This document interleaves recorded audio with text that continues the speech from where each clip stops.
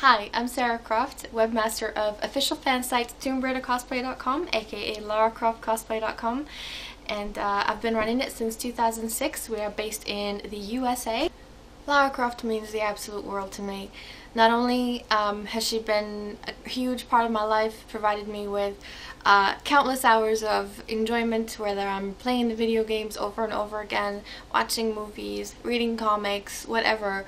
Um, Not to mention the new tablet games, I've wasted many hours playing them, but it had a real impact on my life in general as far as cultivating relationships and making friends and just, um, you know, I've made friends whom I trust with my life, and uh, it was all because we loved Lara Croft. And not everybody understands why we cosplay, but uh, meeting these girls, and boys, by the way, online gave us something to bond over and just, you know, create this wonderful community of uh, people who have each other's backs.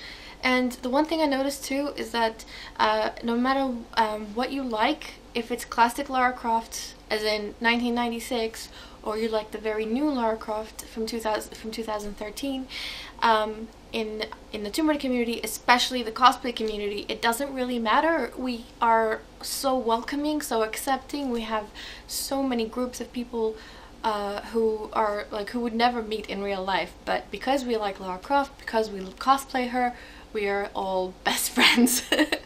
Fondest memory has to be PAX 2015. I went to a cosplay gathering hosted by Meagan Marie from Crystal um, and I swear it was my very first convention and I was blown away. I don't do it every day. I don't like it was I didn't know how most things worked and you know at the convention and just to see um, so many Lara Crofts in real life and you know just to hang out with people who meant the world to me, like Meagan, Jen Croft, Annie, and uh, just it was life changing and it was something that it, it was it was definitely a gift to me that made my life better that it was like checklist. I could die happy now I think Lara Croft inspires people because she was the very first video game heroine who was a kick-ass lady. Um, she was not only well-read and uh, an aristocrat and just you know a, a lady in the very in the truest sense of the word but she was also athletic she kicked butt and she was just um, something different uh, she was unap unapologetically beautiful and she had the brains to match that she lives my fantasy life to just you know pack your bags and go exploring, finding things that no one has seen in thousands of years.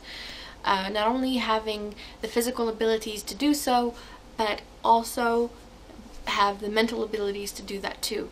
Um, she's really smart. She speaks several languages.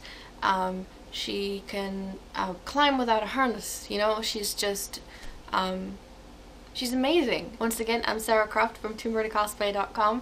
Thank you so much for this opportunity to contribute. Please continue making uh, Tomb Raider games. Please.